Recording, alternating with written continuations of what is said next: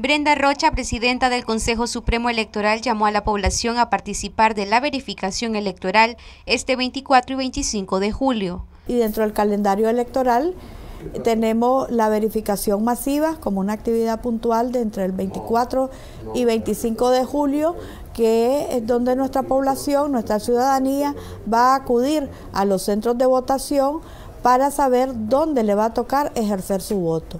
Es importante que todos y todas los ciudadanos y ciudadanas podamos acudir a los centros de votación este sábado y domingo 24 y 25 de julio de 8 a 5 de la tarde. El ciudadano pues, se va al centro de votación donde siempre ha ejercido su, su voto y ahí presenta la cédula de identidad ante el técnico o la técnica que lo va a atender revisa el técnico y la técnica si está dentro del padrón.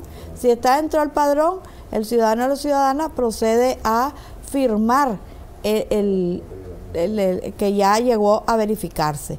En caso que tenga que hacer el cambio de domicilio, siempre el, el técnico de verificación revisa a ver si no está dentro del padrón y si no está y dice que es cambio de domicilio, pasa al otro técnico que es el del cambio de domicilio, donde le va a llenar igual una hojita para hacer el cambio de domicilio y ya queda él registrado en ese centro de votación. Por su parte, Monseñor Rolando Álvarez, obispo de la diócesis de Matagalpa, asegura que la verificación y el proceso electoral son la vía donde se puede cambiar el rumbo al país, por lo que afirmó que va a participar del proceso. Sí, iré a verificarme porque aunque las cosas no están claras y mucho menos definidas, es un derecho ciudadano y es una acción preventiva.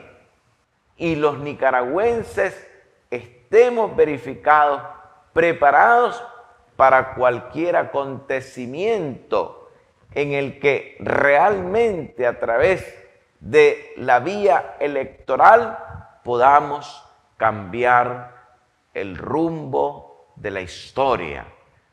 Esa es la cooperación nuestra con el Dios de la historia. De tal manera que les invito, les animo y les motivo a que con la fuerza puesta en Dios, cada uno de ustedes, hermanos, vaya a su centro de verificación.